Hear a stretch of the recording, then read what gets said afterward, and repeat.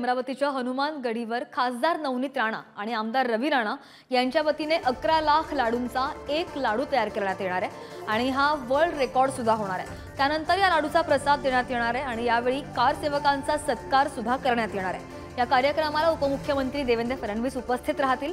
या ठिकाणी हनुमान चालीसा पठण करून हजारो दिवे लावून दिवाळी उत्सव साजरा करण्यात येणार आहे.